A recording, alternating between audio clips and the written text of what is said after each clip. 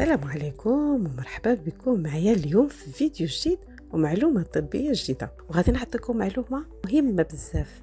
الناس اللي بغاو ينقصوا الوزن. من المعلومات اللي ما كيعرفوهاش بزاف الناس هي أن 80% من الدهون اللي كنحرقوها في الجسم ديالنا كتحول وكتخرج من الجسم على شكل ثاني أكسيد الكربون من خلال التنفس. اذا تعزيز القدرة ديال الجسم ديالنا باش يطرد وباش يخرج هذا الغاز.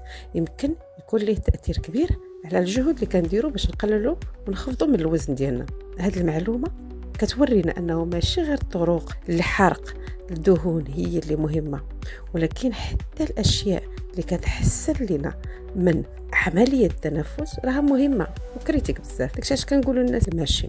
المشي ما كيحرقش لنا الدهون عامة ولكن كيحسن لنا بزاف عملية إخراج ثاني أكسيد الكربون. عبر الزفير. بغيتوا تعرفوا طرق أخرى تخلوا لي تعليقكم ونحاولوا نزيدوا من الوعي ديالنا الصحي بطريقة صحيحة. ماشي بالفوازير اللي كنشوفوا كل يوم. كنتمنى لكم صحة جيدة وحياة مليئة بالنشاط. تابعوني المزيد من النصائح ونبداو رمضان إن شاء الله. بالقلب قوي.